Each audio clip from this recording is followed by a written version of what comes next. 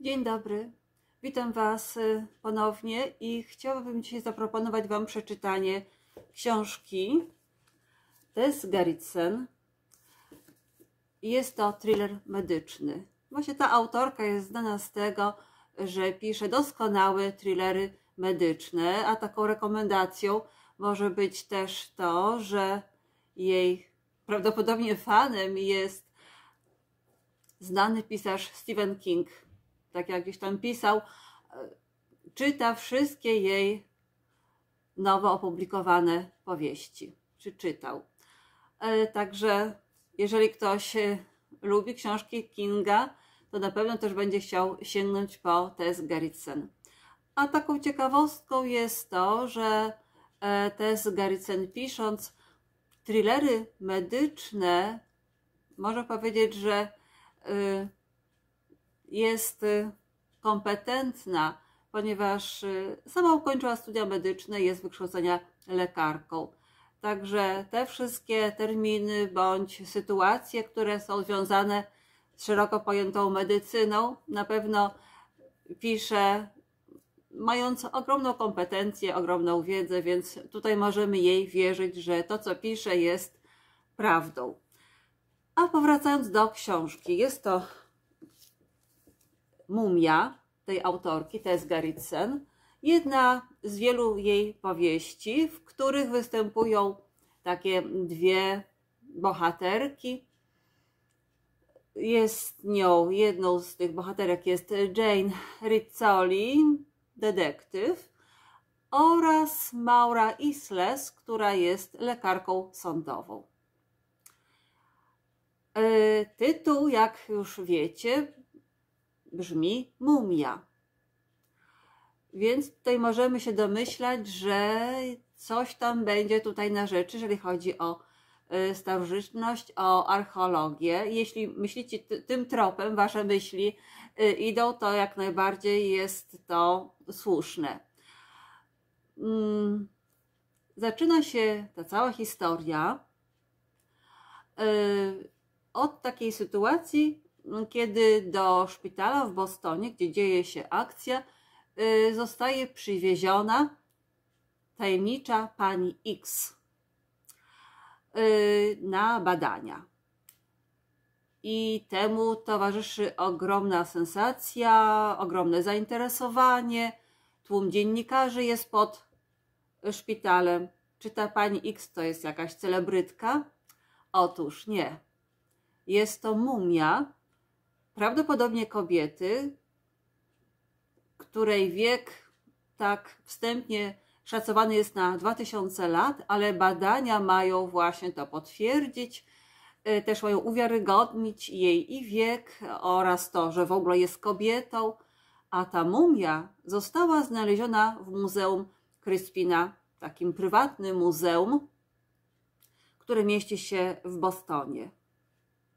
W tym muzeum zaczęła też niedawno pracować e, młoda archeolog, pasjonatka swojej pracy, e, Josephine e, Pulcillo.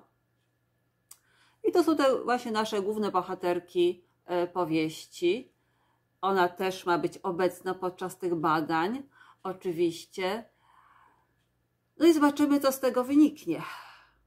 Tymczasem Ku zdziwieniu wszystkich, podczas badania okazuje się raz, że y, w zębach widać jakieś wypełnienia dentystyczne. Ponadto w kości y, nogi znaleziona została kula. Mumia została postrzelona, no coś niemożliwego. Okazuje się, że ta mumia wcale nie liczy 2000 lat. Jest znacznie, znacznie młodsza. I od tego zaczyna się cała historia, ciąg wydarzeń, które wciągają bardzo czytelnika. Okazuje się, że ofiar jest y, znacznie więcej. Są to kobiety. Wszystko ma to związek właśnie też i z tym muzeum Crispin w Bostonie, ale nie tylko. Archeolog Josephine zaczyna otrzymywać anonimy, czuje się zagrożona, ale dlaczego? To wszystko też jest związane z jej przyszłością, przeszłością jej matki, która również była archeologiem. Mm, atmosfera się zagęszcza.